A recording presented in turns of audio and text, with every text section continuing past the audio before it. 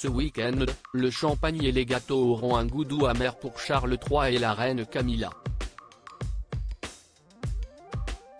Alors que le couple se prépare à célébrer son 18e anniversaire de mariage, le souverain ne peut s'empêcher d'avoir une pensée émue pour son père, le prince Philippe, disparu le 9 avril 2021. L'époux d'Elisabeth II a pris son dernier souffle paisiblement, auprès de la reine, et est décédé des causes de son grand âge, à de 99 ans. Charles III, alors prince de Galles, devait célébrer son 16e anniversaire de mariage à Camilla. 16 ans plus tôt, en 2005, le couple se retrouvait au Windsor Guildhall pour finalement s'unir, après de longues années rythmées par une relation passionnée et tumultueuse.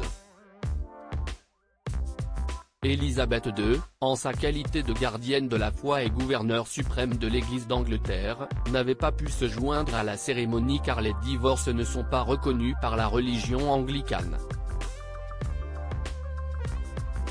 Les parents de Charles III avaient tout de même organisé une réception au château de Windsor plus tard dans la journée, en témoignage de leur approbation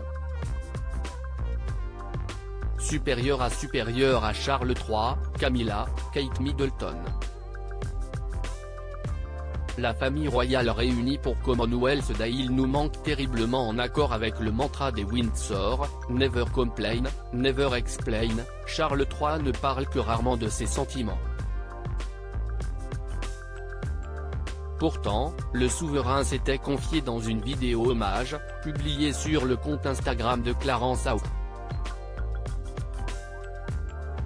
Comme vous pouvez l'imaginer, mon père nous manque terriblement, à moi et à ma famille, expliquait-il, le ton grave. Mon cher papa était une personne très spéciale qui, je pense, aurait été émerveillé par-dessus tout par la réaction et les choses touchantes qui ont été dites à son sujet. De ce point de vue, nous sommes, ma famille et moi, profondément reconnaissants pour tout cela. Cela nous soutiendra dans cette perte particulière et en ce moment particulièrement triste.